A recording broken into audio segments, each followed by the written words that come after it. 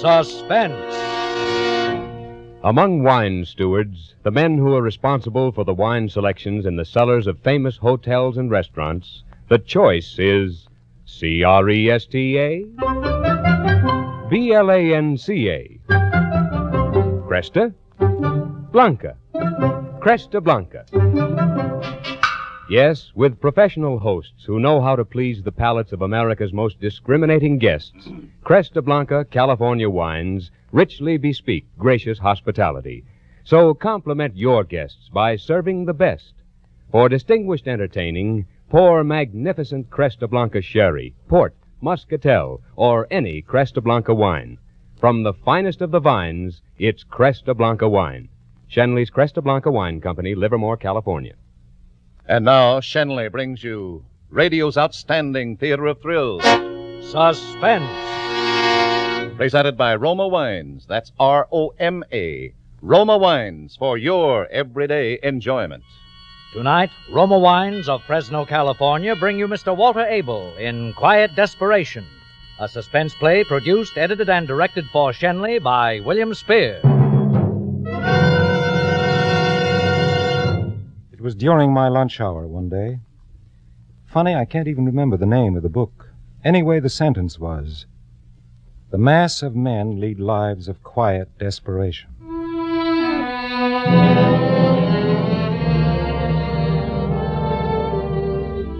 I couldn't seem to get past that sentence. Quiet desperation. That was me the author was talking about, Homer Bigelow. And suddenly I thought, why should I go on like that? I was desperate, okay, but why should I be quiet? Why shouldn't I do something about it? Get myself out of the rut. All I needed was the right break. It came a lot sooner than I expected.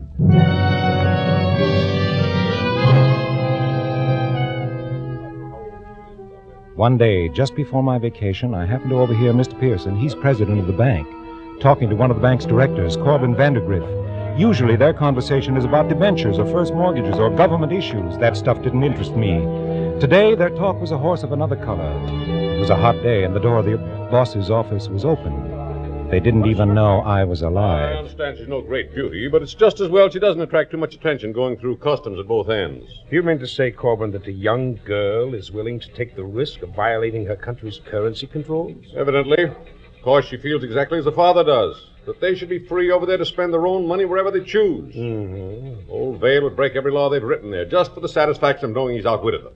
And Hester probably feels the same way about it. Well, then he'll get quite a kick out of slipping 20,000 pounds out of the country. Uh, not pounds, John, but they might as well be. They're just about as negotiable as cold cash. Why, when that girl turns them over to me, I can walk into any dealer in the city and get full market value in ten minutes. Hmm. And I intend to do it for him. I'm in complete sympathy. No government on earth could tell me where and when and how to spend my own money. Once she gets the money, what's she going to do with it? Oh, I don't know, I don't care. My guess is that she's going to do some shrewd buying highly uh, scarce products for shipments back abroad. Leave it a Vale to find a profitable deal. when is she arriving? Monday on the Elizabeth. I've engaged a suite for her at the Ambassador. Good. I wrote them that I'd meet her at the boat, take her to the hotel, get the uh, negotiables, and exchange them for her. Mm-hmm. That afternoon, she can throw the dollars out the window for all that matters to me. My duty will be over. Well, aren't you going to entertain her while she's here? See that she has a good time? Entertain her? I should say not. What? I don't even know the girl. Besides, I'm a little too old for that sort of thing. Oh, Corbin. you keep it chilly in here. You know, I like it quiet. I wondered what Mr. Pearson would say if any of us employees at the banks were to play fast and loose with the law the way Corbin Vandergriff and that snooty dame Hester Vale were doing. He wouldn't be quite so sympathetic and understanding. You can bet your bottom dollar on that. That kind of skullduggery was labeled strictly for the rich.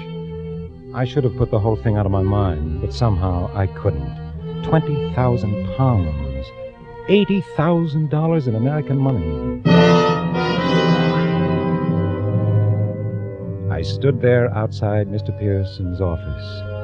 I was shaken out of my quiet desperation. Somehow, I just stood there dreaming about romance and adventure that you could buy with money. Well, Homer, you all set for your vacation? oh, yes, yes, sir. Leaving Friday for good old Eel River. My 13th year there. well, I envy you, son. I won't be going up until September. Then you'll be fishing up at Eel River again this summer. Oh, yes, yes. I wouldn't miss it for anything. I wrote Emil and told him to expect me. We'll be uh, quite a party this year. Five of us, you know. Say, did I tell you about the trout I caught last year? Yes, Wait, the bank president and his lowly employee both went to the same place for their vacations. But what a difference. When he went out fishing, he had two guides per man with him to pack and carry, to paddle and cook, to set up camp, to do everything that needed doing. Whereas I had to do everything for myself and by myself. Well, have a good time, Homer. I'll see you when you return. I'll say goodbye now. I won't be back anymore today. Goodbye, sir, and thanks.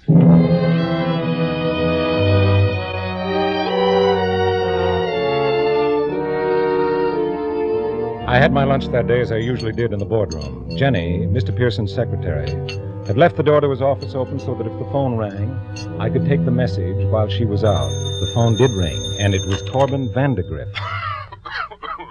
Who is this? This is Homer Bigelow, Mr. Vandergriff. Oh, yes, Homer. So- Sorry. Uh, make sure to give this message to Mr. Pearson. I'm laid up here in the country with a cold. Won't be able to get to the city for that appointment on Monday. Mr. Pearson knows all about it. Ask him to meet Miss Vale at the boat for me and see to it that she's settled at the hotel. Tell him not to expect me back in the city until next Wednesday at the earliest. Yes, sir. Tell him I'll take care of that financial matter for Miss Vale when I get in. It can wait until Wednesday. Yes, sir. And tell him not to bother to call me. I'm going to spend this week in bed, and I, I don't want to be disturbed. Yes, sir. Thank you, Homer. Hmm. So Mr. Vandergriff was indisposed. Too bad. Now the girl would have to be met by a substitute, a, a stranger. Well, she didn't know either Vandergriff or Pearson from a hole in the ground, so what did it matter? And if it came to that, why did the substitute have to be Mr. Pearson? Why couldn't it be me?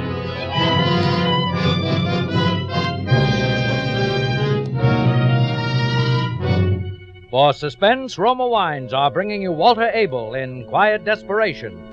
Roma Wines' presentation tonight in radio's outstanding theater of thrills, Suspense.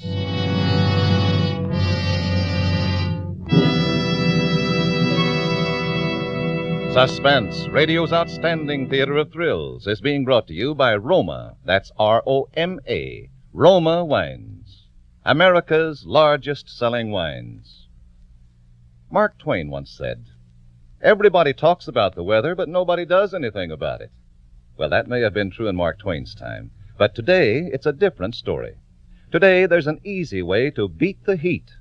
Just half fill a glass with better tasting Roma wine, such as rich Roma Tokay, fruity Roma Zinfandel, or mellow Roma Claret.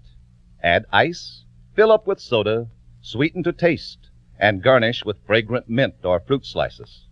Then lean back and enjoy Roma wine and soda, America's smartest, coolest summer drink. I'm sure you'll agree that Roma wine and soda, so delicious, so refreshing, so cool to come home to, is the perfect warm weather thirst quencher. Perfect for summer entertaining. So inexpensive, too. It's a hot idea to treat your family and friends to cold, refreshing Roma wine and soda made with better tasting Roma wines. America's favorite wines. And now Roma Wines bring back to our Hollywood soundstage Walter Abel as Homer Bigelow with Cathy Lewis as Hester Vale in Quiet Desperation, a play well calculated to keep you in suspense.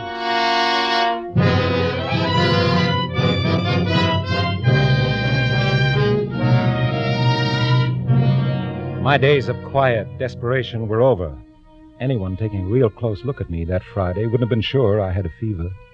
My face felt hot, and every now and then I had a fit of trembling. But evening finally came.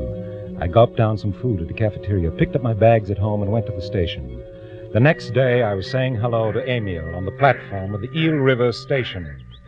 Hello, Homer. ¿Cómo se va? Hello, Emil. Glad to see you again. How is my Barnaby, Mr. Pearson? eh? Fine, fine. He sends his regards. How's the fishing? Oh, magnifique. The best ever, eh? Uh, many others on the river, Emil? oh, not a one. The fish, they are hungry like anything, and not a one to give them small fly to eat. now you come, Homer, and they will be all for you. That's fine. I'll get started right out. Is everything all set? oh, to fry. Everything is ready, eh? Come.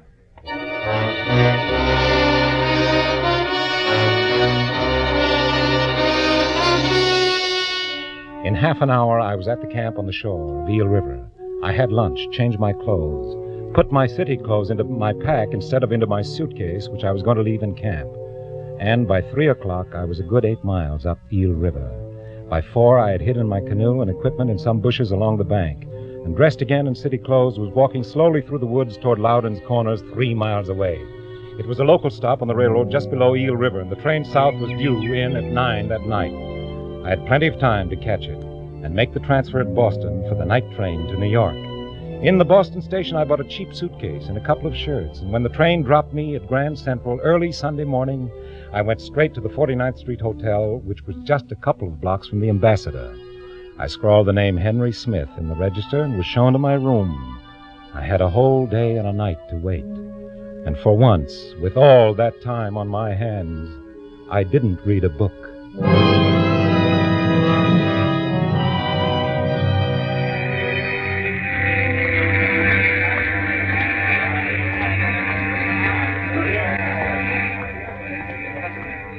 Excuse me, where could I find a Miss Vale, one of the passengers? What? What name? Hester Vale. Vale, look over there by the fees. If she hasn't gone through, she's probably there. Thank you.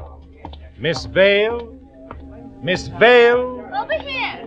Good morning, Miss Vale. I'm. You're Mr. Vandergrift. Hmm, That's right. So good of you to come. My father promised you'd meet me. Oh, how is your father? Oh, father? he's very well, thank you. Still growling about Europe's ruin. It's been a beastly nuisance, this waiting.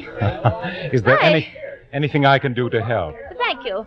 That chap's finally finished mucking about with my boxes.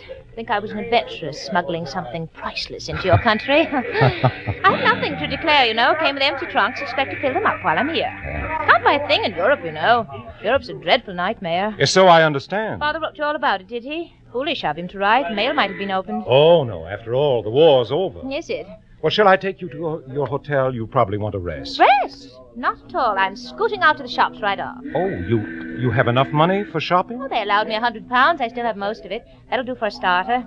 If they'd only known about, it, you know.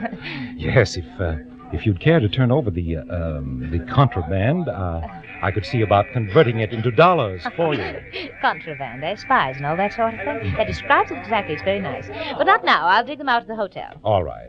Is there anything you'd like me to do this evening, or you'd like to do this evening? Well, oh dear, I don't want to impose on your time. Oh, you're not imposing. It's a pleasure. But I'd like to see a play. One of your bright American musicals, if possible. Well, I think that can be arranged. Well. Suppose I call for you at seven. We can have dinner and then go to the theater. That's splendid. It's frightfully kind of you. Forget it. I haven't seen a musical myself.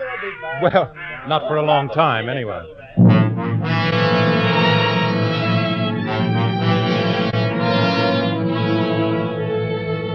I took her to her suite at the Ambassador. Then I went back to my room to think over my plan. It was almost too simple. As soon as she turned the securities over to me, I'd take them to a broker and collect. Then I'd catch the night train back to Loudon's Corner, then through the woods to Eel River. By tomorrow afternoon, I'd be in my canoe again as if nothing had happened. A few days after that, the canoe would come drifting down the river wrong side up, and my stuff would be found floating in a quiet backwater. Under another name, I'd go out west. With $80,000, I'd never have to go back to that old life of quiet desperation. No, sir, I was through with that forever. As for the man who posed as Corbin Vandergriff, he'd never be found, and no one would ever connect him with the Homer Bigelow who was drowned on a fishing trip in the swift waters of Eel River 250 miles away.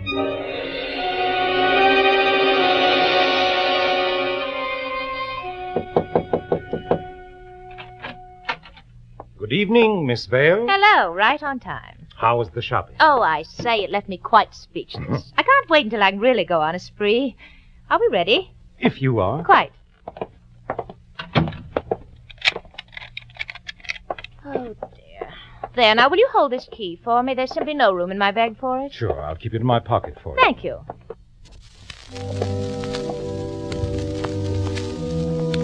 I picked a quiet little restaurant where I was sure I wouldn't meet anyone who knew me. The theater was going to be an ordeal, all those people, but that couldn't be helped. I had to play my part until she handed over those securities. I couldn't afford to look too anxious about them either, but I needn't have worried. While we were waiting for the dessert, she opened her bag and pulled out a package of about a dozen small envelopes, different sizes and different shapes. Here. Here you are, Mr. Vandergrift. Take good care of them. Ah. Are these? They are. I put them in my inside pocket. All the way down Broadway in the taxi, I felt them. The envelopes were too small, it seemed to me, to hold securities. Maybe if they were folded over, but even then they would have to be bulkier than they were. I had to look into those envelopes to know if the securities were really there. But I had no chance, and it wasn't until the taxi dropped us in front of the theater that I was able to make one. Well, here we are. Miss Vale, I, I wonder if you'd mind seeing the show alone. Oh, dear. I don't know what did it to me, but I've suddenly gotten a terrific headache. Oh, that is too bad. Oh, it'll be all right. I just thought the music and the excitement wouldn't help much. No, I should think not.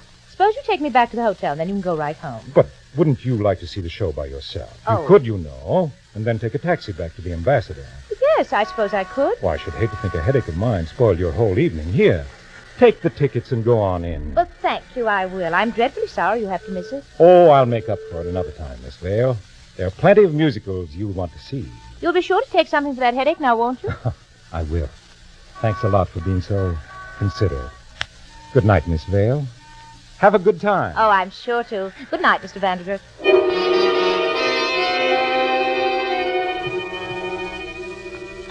Back in my hotel room with shaking hands, I opened the envelopes.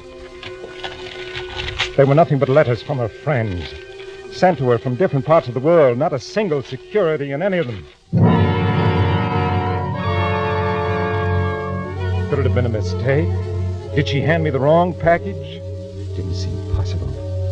Maybe she suspected something was wrong and played a trick on me. I was sweating and reached for my handkerchief, and that's when I felt her hotel key still in my pocket. I threw the package of letters into my suitcase and walked over to the ambassador, two, two blocks away. Her key opened the door, and I was alone in her suite.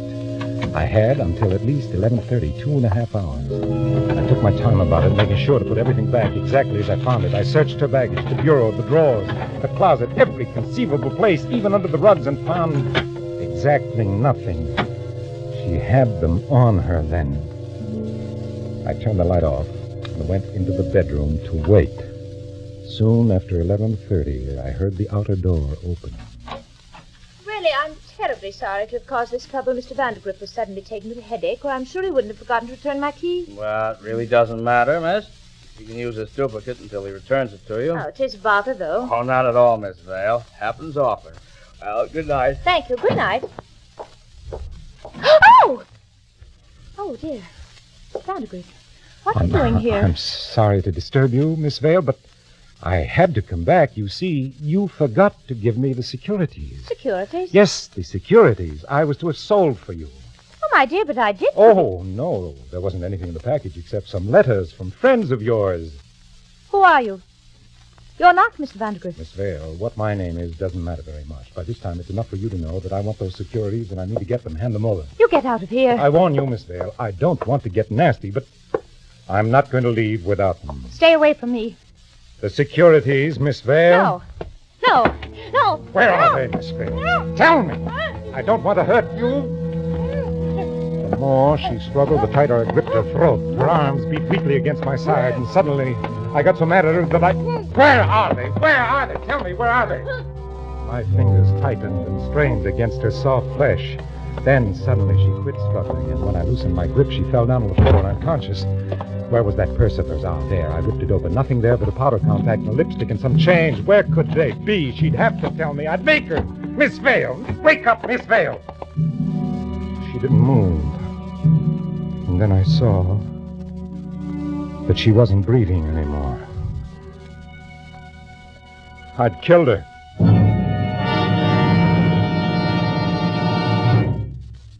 I never meant to kill the girl.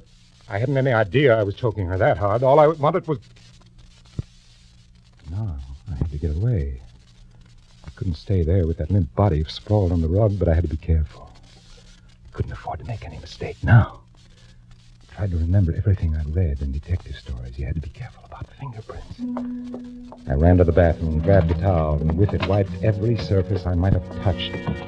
Then I dragged the body to the bedroom put it on the bed. I shut the door behind me and turned the lights off in the sitting room. I listened a couple of seconds at the outer door. Everything was quiet. I ducked out and went to the stairs. The lobby was empty. I crossed over and went onto Park Avenue. Five minutes later, I was in my hotel. It was 12.30. I could still catch the one o'clock train for Boston.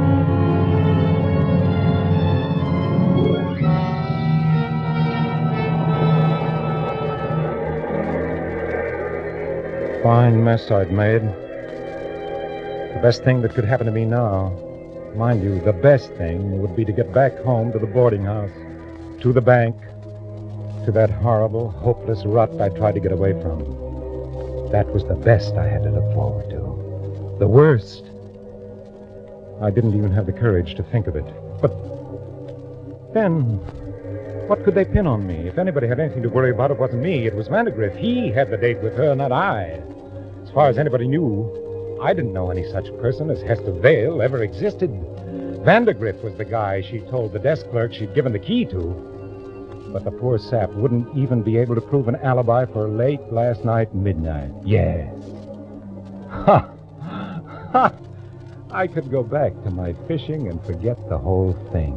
Forget it ever happened. I was safe. Huh. Fine consolation that was after all the beautiful plans I'd made. But at least I was safe.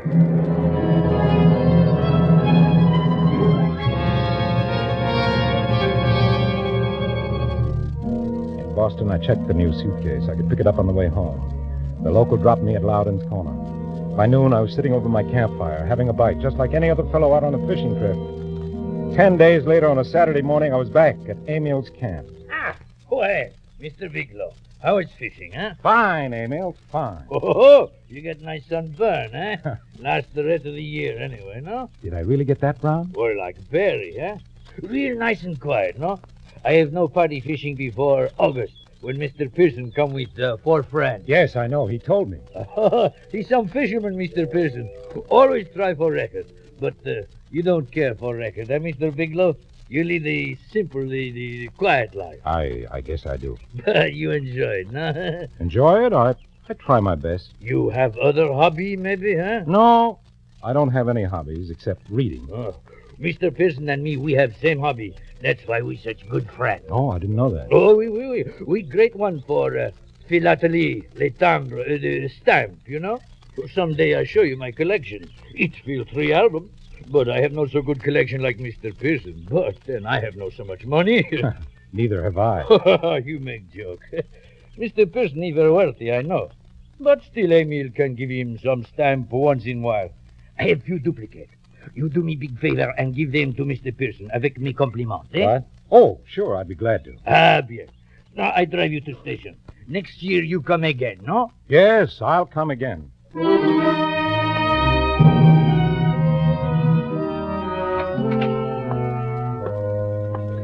Well, Homer, you're back, huh? Did you enjoy your rest? Yes, it was fine, Mr. Pearson. Good, good, good. I can't say we've had any enjoyment back here. Have you heard about Mr. Vandergrift? Mr. Vandergrift? No, sir. Is there something wrong? Wrong. I'll say there is. He's been arrested for murder. He insists he's innocent, but the police have a strong case against him, very strong. Oh, it looks bad, bad indeed. I'm sorry, sir. So are we all. It means I'll have to give up my fishing trip this summer for one thing. I can't desert old Vandy at such a time. I'll have to wire Emil, and I just got a letter from him telling me he had everything arranged to. Yes, he told me he was expecting you. Oh, well. Can't be helped. Oh, say, by the way, he wrote that he sent some duplicates on to me in your care. Stamps, you know. Stamps? Oh, that's right, he did. Sorry, I forgot about them, Mr. Pearson. I must have them at home. I'll I'll bring them in tomorrow, sir. Well, no hurry, no hurry. I have no mind for them now anyway. Well, back to work. Come on, back to work.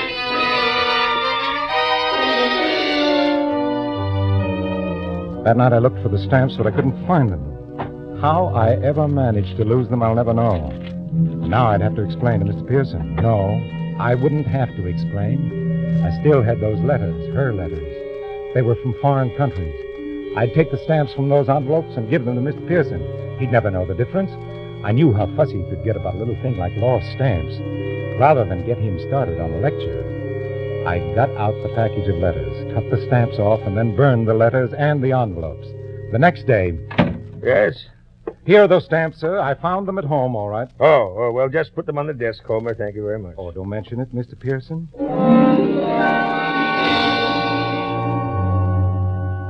I was having my lunch later in the boardroom when Mr. Pearson came in. He had a stranger with him, a tall man with an angry face. Here, here you are, Homer. Yes, sir. I uh, want you to meet Mr. Scott.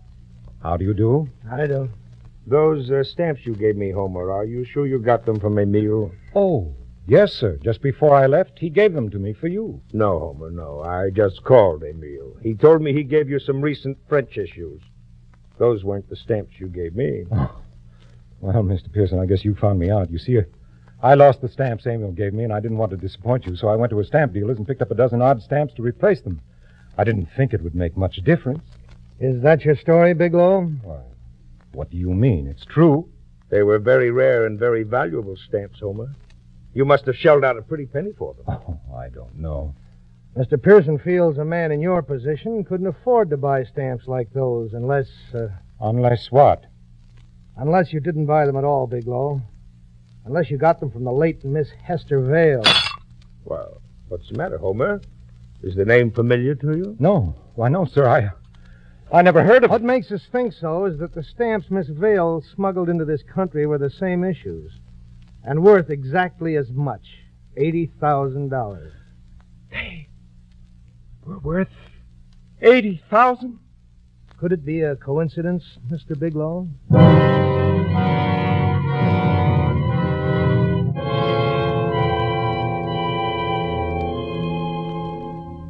Quiet desperation. I've been catching up on my reading here in prison while waiting. I found another good quote. Happiness is the absence of pain.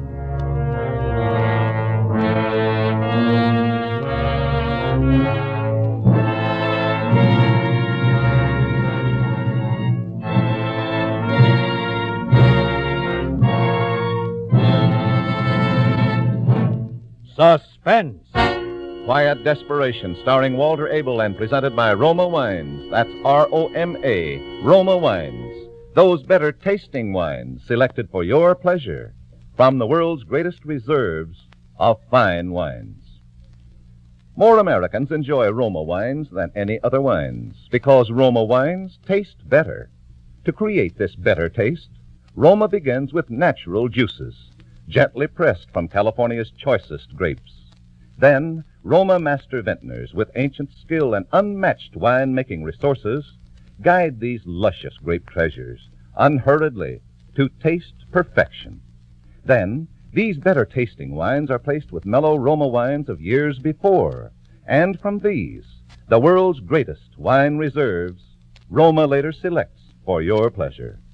Right now, a wonderful way to discover the better taste of Roma wines is to serve Roma wine and soda iced. For cool, lip smacking refreshment, enjoy delicious Roma wine and soda made with your favorite Roma wine.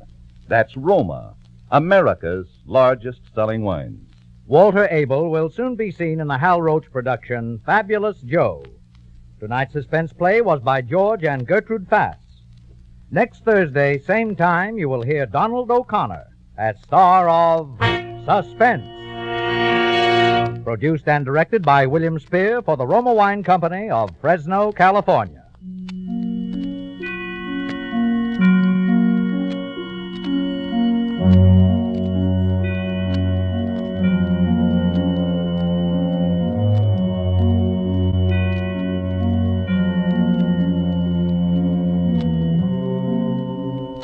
In the coming weeks, Suspense will present such stars as Edmond O'Brien, John Lund, Lloyd Nolan, and others.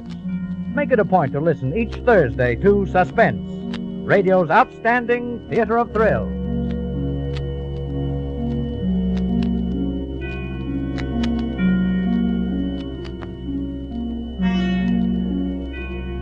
This is CBS, the Columbia Broadcasting System.